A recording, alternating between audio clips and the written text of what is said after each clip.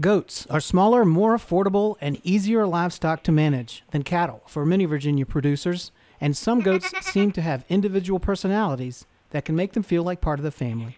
They make relatively good pets. People raise bottle kids and they make great companions. They're more like a dog than, than, than lambs, would, for example. Their personalities are really crazy and they all have different personalities. Some of them will come out as sweet and nice and calm as you can imagine, and then others will come out buck wild. Farmers and researchers alike say a growing interest in raising goats stems from the growing ethnic markets for goat meat in the U.S. There were almost 49,000 goats on 3,500 Virginia farms in 2017, 125 more farms than five years earlier.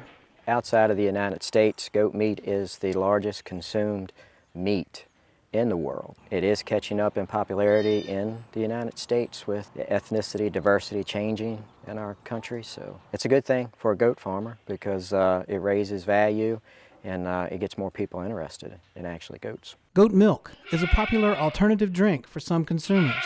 It's also the base for a number of processed products like cheese, soaps, and skincare products. And a few producers have started their own goat landscaping business to help property owners clear difficult brush without machines or chemicals. Those goats will come through and there'll be nothing left from as high as they can reach down to the ground. It's green. They'll do poison ivy or thistles or anything like that. It's like candy. And as you can see on social media, some people are even doing yoga with goats. So goats are very useful animals. But what are the drawbacks to owning goats?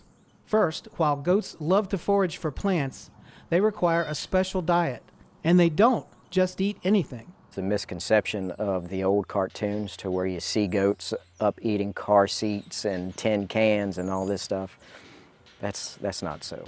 Goats really, we always joke that a goat could stump its toe and fall over dead. So it's not like they're rugged and can eat anything. Some breeds of goats are very susceptible to parasites, and owners need to know the warning signs of this problem. Wildeus says encouraging the animals to graze higher than six inches will help prevent some parasite problems. That's usually not a problem for a goat. They climb, they jump on propane tanks, and they go through and cross fences. They climb us a little bit, so they're a lot more agile than most of the other forms of livestock that you have. Fencing is important, not only to keep the goats in, but also to keep predators out. Having guard dogs is also a good strategy against predators.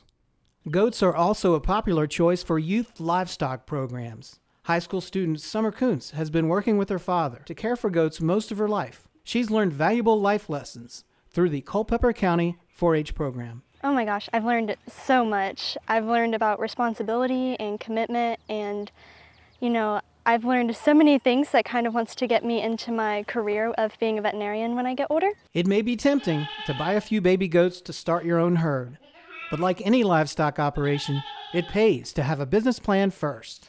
You really have to start at the tail end of the business and see how are you going to market your animal. What's, what customer group are you targeting? Are you going to go to the ethnic market? And then what ethnic market are you going to go to? Do not put the cart before the horse, which so many of us usually do. You end up buying a couple goats and you bring them home and you're not ready with your pens or whatever type of shelter you're going to have for them.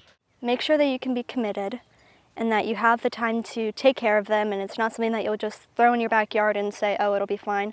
Because they actually, they need so much work. The good news is if you're a new goat owner and have questions, there's help available. The goat community does seem to be very willing to share information and they're very polite. You hardly ever run across anybody that, uh, that isn't willing to share their story with you.